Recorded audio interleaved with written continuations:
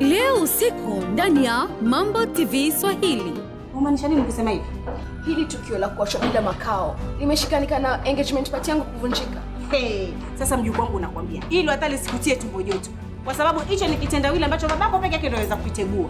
Nataka kuniambia umekaa na mtu kwa miezi hizo zote akiwa na amiliki bunduki, alafu sasa leo ndio mnaamua kuja kuripoti. Huyu jamaa unamwelewa kweli? Hivi miaka yote ambayo tumeishi pamoja na kuolea kote huku, mtu anaweza kuwashawishi kuambia ni sawa beno, afu mkamwamini?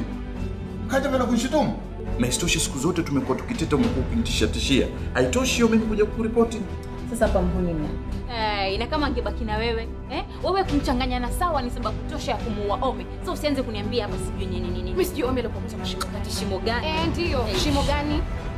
Nyota Jumatatu hadi Ijumaa saa tatu kamili usiku ndani ya Mambo TV Swahili pekee.